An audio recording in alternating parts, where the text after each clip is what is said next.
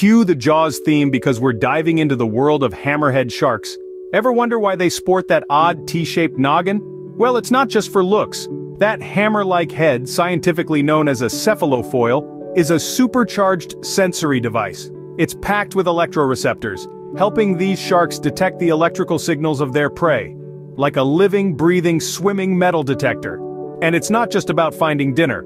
The wider head shape allows for sharper turns and better views. Yep, they've got a 360-degree visual field. Talk about a panoramic view. So, next time you're struggling to parallel park or find your keys, remember the hammerhead shark.